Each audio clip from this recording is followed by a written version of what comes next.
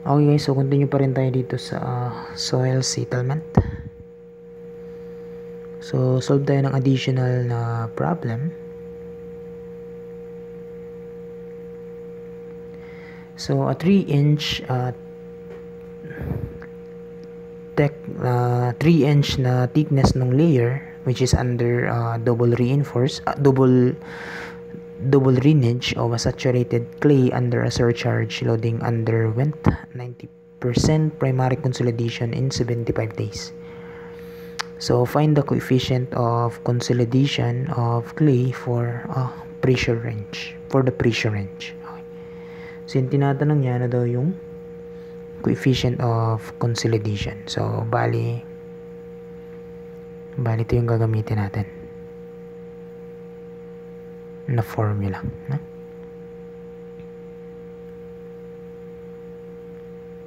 So, copy ko lang yan.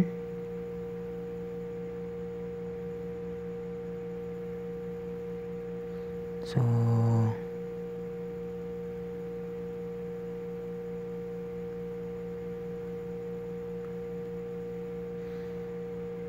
ito yung gagamitin natin. Solution.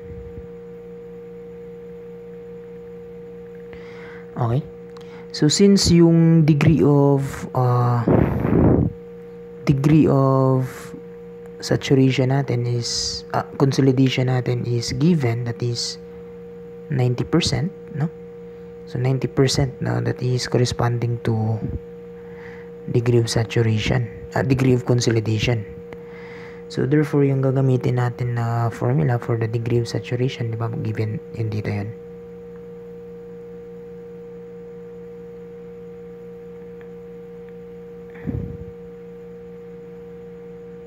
Di ba ito yan? No? For, for this case, yung TV is 0.848. So, bali yung gagamitin natin na formula is itong root time method. Okay? So, yan yung uh, gusto pa lang ipagamit nung problem. So, bale, yung mangyayari ngayon is ito na yung gagamitin natin.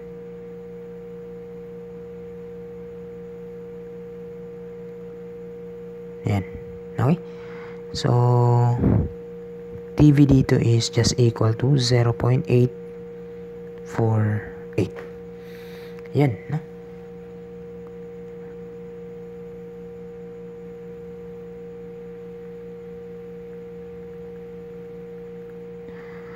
So, balikan lang natin to. So, yung thickness nung clay layer natin is 3 inch.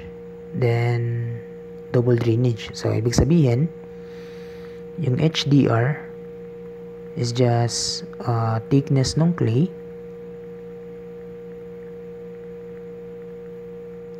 divided by 2. Di ba? For uh, two-way drainage.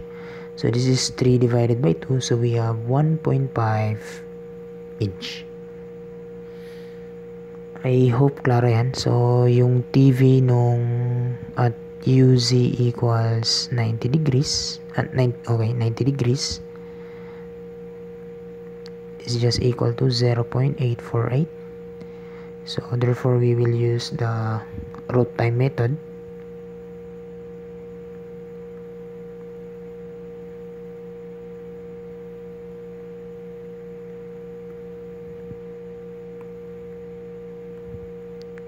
Okay. So, yun na, no? So, meron tayong value for time.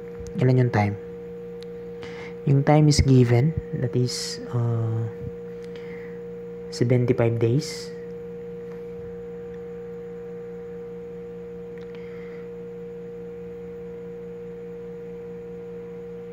Seventy-five days.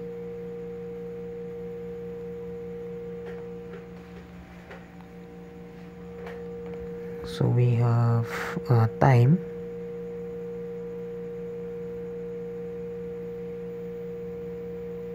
Ninety. That is seventy-five days. So bali in seconds, that is Di? In one day, we have 24 hours. And then in one hour, we have 60 minutes.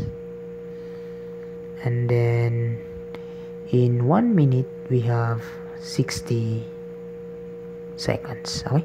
So, bali yung gusto natin na time is in seconds, hindi naka per day. So, bali yung gusto nating makuha dito na unit is square centimeter per second. So, assuming ganyan.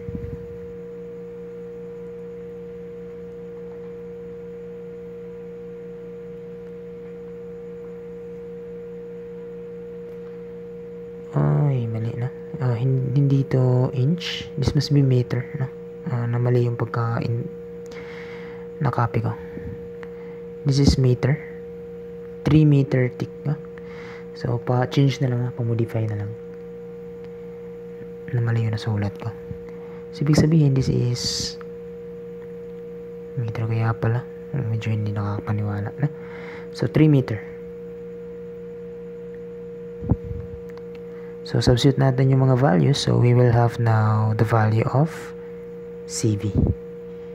Okay? So, CV is just equal to 1.5 meter. So, multiply na lang natin. Gusto kasi uh, naka-centimeter squared per second yung yung sagot eh. So, gawin na lang natin centimeter din. So, in 1 meter, that is 100 centimeter. So, ito daw lahat is squared lang natin. All over yung time, yung ito.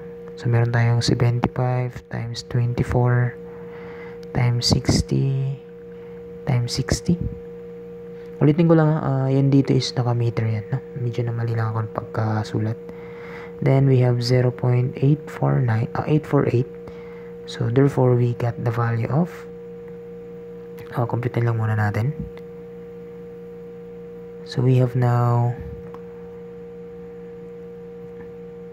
uh, 1.5 times 100 squared all over yung time na 75 times 24 times 60 times 60 then times 0.848 so that value is 0.00294 So, this one is 0.00294.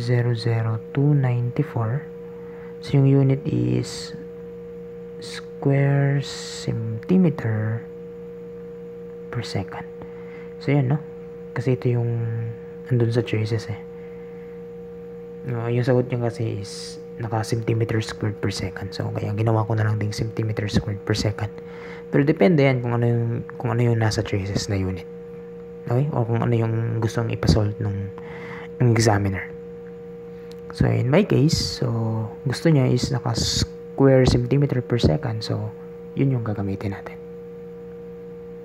So, ito na yung sagot.